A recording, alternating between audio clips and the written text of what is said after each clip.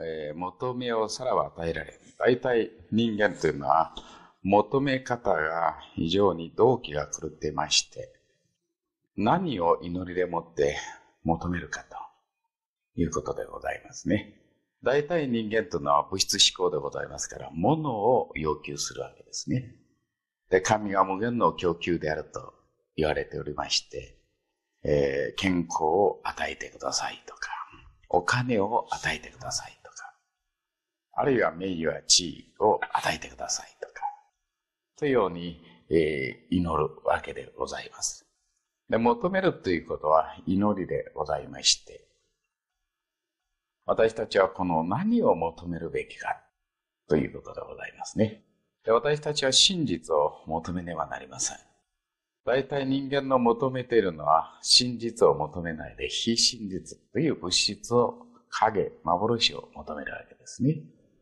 この世の世界っていうのは、すなわち幻、影でございますけれども、えー、真実出ないものを一生懸命求めて。もともと私たちは、この健康を求めなくてなくても健康はちゃんと与えられているものでございます。えー、神様は不健康な人間というのは一人も作れなかったんですね。健康な人間をお作りになったんです。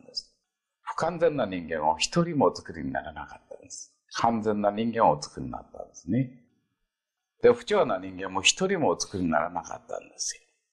しかし、人間は自分自らが不調和を作ったんですね。自らが病気を作るんですよ。で、自らが不幸を作ってるわけですよ。しかし私たちは自分で作っている不幸が自分から来たもんだと思いませんので、幸福にしてくださいとか、幸せにしてくださいとか。神様はもともと皆さんに初めから幸せを与えきりなんですね。で、健康も与えきりなんです。どうでしょう？皆さんが病気になるのは、神様があなたを病気にしてるのでしょうか？自分が自分を病気にしてるのでしょうか？ということなんですね。イエス様はこう言われたと思います。神が完全であるがごとく、そなたたちも完全であれと言われたと思うんですね。もともと私たちは今から完全になろうとするものではないんですね。もともと完全だったんです。もともと完全ですけれども、誰が不完全にしてるかというと、自らがなんですね。自らが不完全にしてるのであって、神様が不完全な人間は一人も作っておられません。不幸な人間も一人も作っておられません。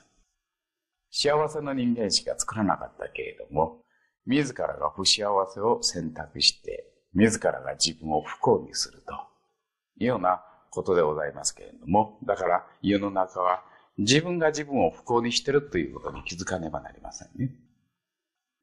で、自分で自分の病気を作ってるということにも気づきませんので、健康にしてください。幸せにしてください。お願いします。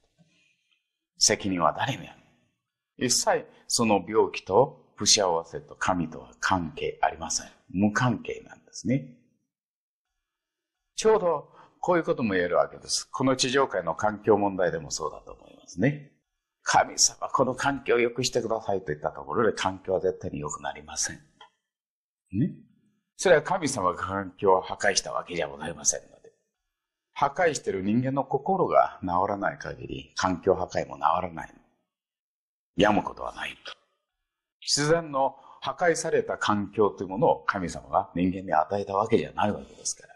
それを人間の自由視点を持って破壊してるわけですから。だから人間の心を変えなければ環境問題は解決がつかないと。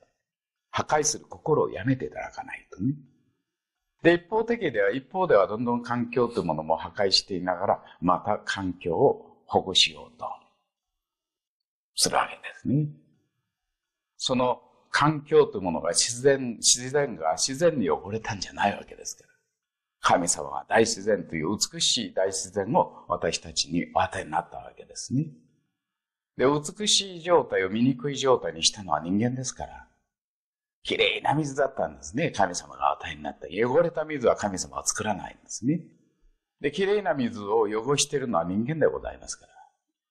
じゃあ、その水をきれいにしようじゃなくて、水は一向にきれいになりません。水をきれいにしようと。水をね、きれいにしようじゃなくて汚さないようにしましょうということだと思うんですね。だから